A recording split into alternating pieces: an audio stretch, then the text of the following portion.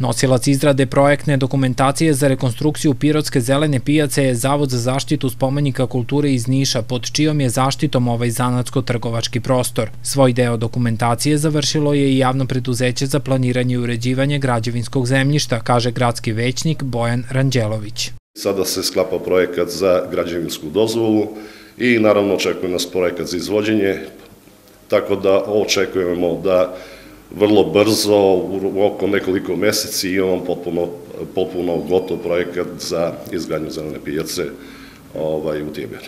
U vreme obimnih radova, u dogovoru sa javnim preduzećem Komunalac, privremeno izmeštanje pijace na adekvatnu lokaciju. Projektom je predviđeno i trajno izmeštanje glavne autobuske stanice u Pirotu.